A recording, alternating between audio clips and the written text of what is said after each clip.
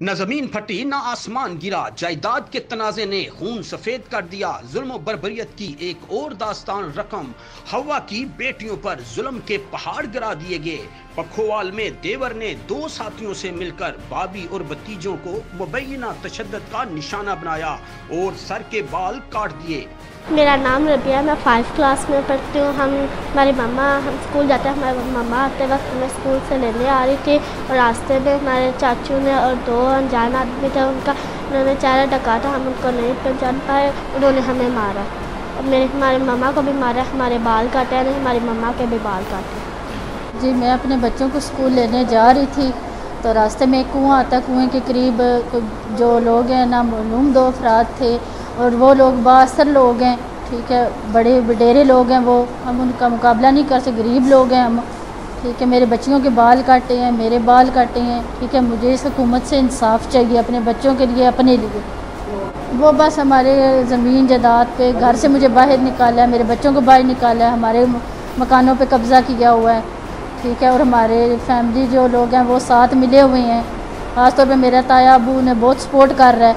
वो पैसे वाला इंसान फ्रांस से आया हुआ है, वो तीन चार करोड़ अरब का मालिक है वो। वो बहुत उन्हें सपोर्ट कर रहा है। उनके साथ चल रहा है। हमारी कोई भी इंसान यहाँ इंसाफ नहीं कर रहा, बात नहीं सुन रहा। तो मेरी हुकूमत से ये अपील है, हमें इंसाफ दिया जाए।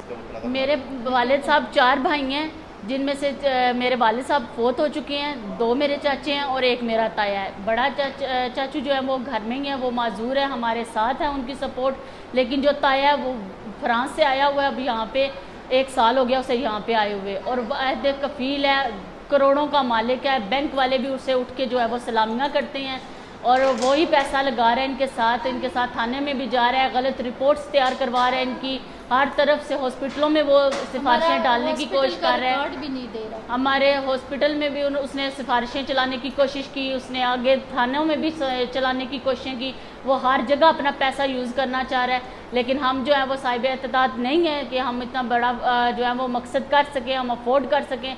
इसलिए हमें जो है वो इंसाफ की उम्मीद है और सिर्फ़ इमरान खान साहब से और हमारी अपील है कि हमारी मदद की जाए, क्योंकि हम उन्हीं के, हमने उनको सपोर्ट किया है, हमने उनको वहाँ पर बिठाया है जहाँ पर उनका हक बनता था।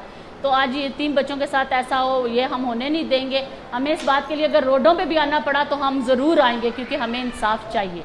पुलिस राय के मुताबिक खातून को खेतों में ले जाकर देवर ने वारदात की।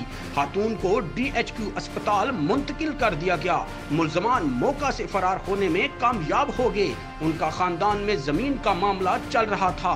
पुलिस का मजीद कहना था कि शवाहिद इकट्ठे कर लिए हैं। जल्द मुलजमान को गिरफ़्तार कर लेंगे। नजफ शहजाद आप न्यूज़ जहलम